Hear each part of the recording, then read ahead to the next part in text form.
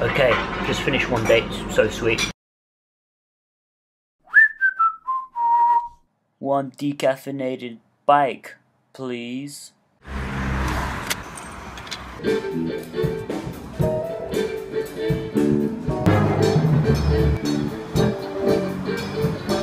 I've been running around all day and finally I'm taking a little bit of a break to get some more food and just unwind and charge all my gear before I go out.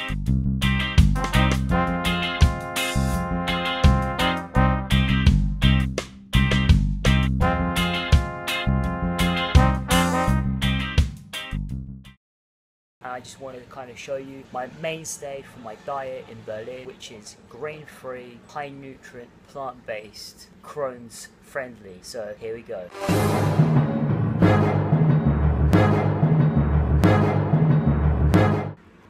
Starts off with like a pack of dates. I was really lucky to find this like a couple days ago. I've been just over one a day, and this is 400 grams. Is exact 1200 calories. A good liter. I've been having a liter of orange juice every day, which is another 410 calories. Oh, obviously loads and loads of water. It's really nice and warm here in Berlin.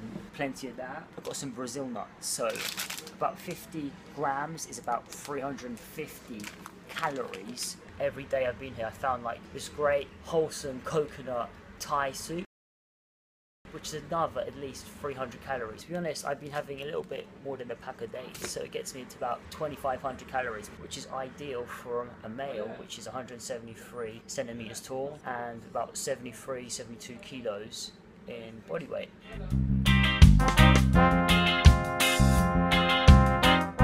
Just wanted to show you what I've been eating and that traveling with Crohn's, an autoimmune disease, or any like dietary requirements is cool.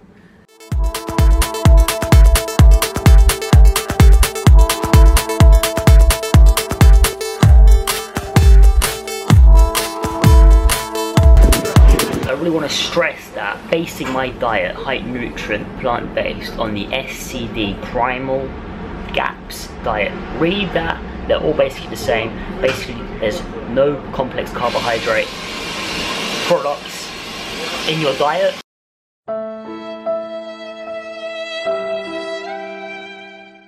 But last four months, it's gone really well.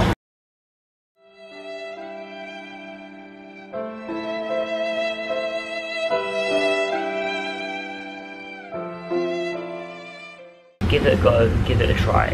At the beginning you're gonna say like, meats and everything and yeah but you can easily make loads of different choices and my taste buds have changed so much now that I'm not looking back I'm just forward.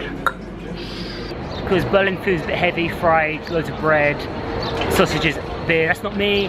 And got a meal Thai chicken soup loads of vegetables great stock coconut milk and just trying to relax for five ten minutes before I go crazy into town again it's just all junk. It's all the same. Like the theory is farming has only started in the last few thousand years. Humans live so much longer and that is really unnatural and the body is gonna bugger up sooner or later if you eat all that stuff in excess, which a lot of people in the West do. Biscuits, chips, crisps, you name it, we eat it. I used to eat it. So high nutrient, plant-based lifestyle, those four words, that's what needs to be promoted more because it really makes difference. So good. Not as good as Polish ones, but really good. And hydration. With loads of water, it really helps my guts to do its thing. And you know what? When it does its thing, I feel so great. So, loads of water.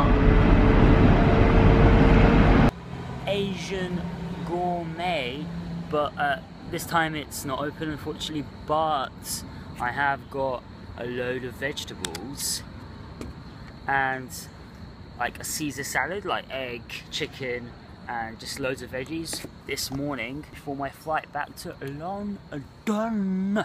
Yeah baby. All the fibre, nutrients I need together, you can't beat it.